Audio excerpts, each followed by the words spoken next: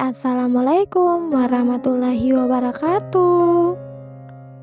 Di video kali ini aku mau bikin Puding Nutrijel kekinian. Puding ini benar-benar enak dan hasilnya juga cantik. Nah, bagi teman-teman yang baru bergabung, jangan lupa klik tombol subscribe.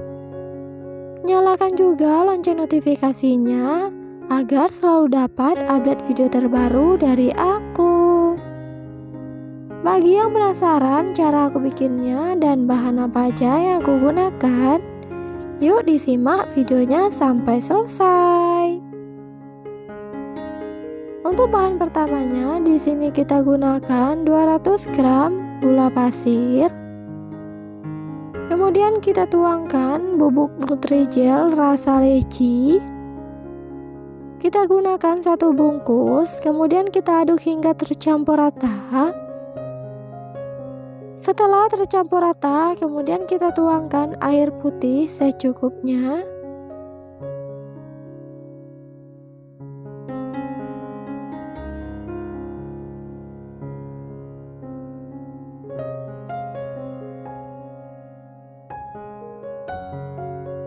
Setelah tercampur rata, masukkan 1 sendok makan pewarna merah agar warnanya itu lebih terang.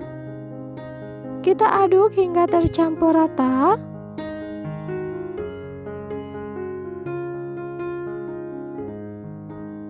Kemudian kita pindahkan di atas kompor, kita masak menggunakan api sedang cenderung kecil. Selalu diaduk hingga agar-agarnya tidak menggumpal.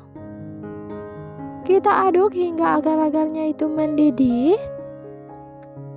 Selanjutnya kita akan matikan api kompor, kita masukkan campurannya ini. Setelah kita masukkan, aduk kembali hingga tercampur rata. Tunggu pudingnya agak hangat setelah hangat, kemudian kita tuangkan pada cetakan kue talam. Kita tuangkan sedikit demi sedikit.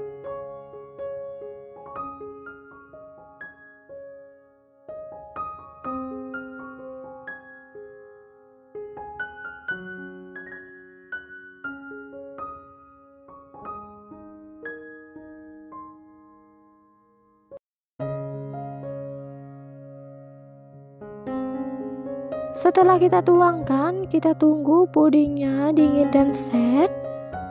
Ini dia pudingnya sudah dingin dan set. Kita keluarkan dari cetakan kue talam. Kita lakukan hingga selesai. Setelah selesai, kita keluarkan dari cetakan kue talam, kemudian kita pindahkan di atas mika. Kita masukkan dalam mika satu persatu.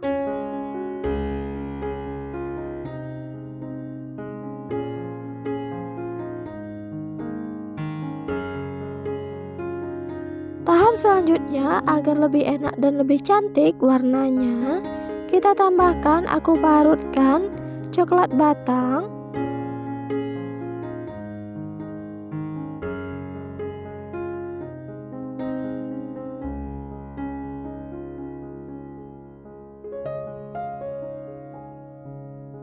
Setelah kita beri parutan dari coklat batang, kemudian kita beri parutan keju.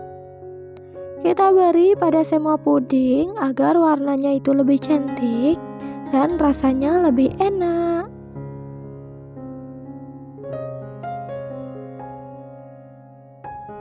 Nah, ini dia puding kue talam kekinian.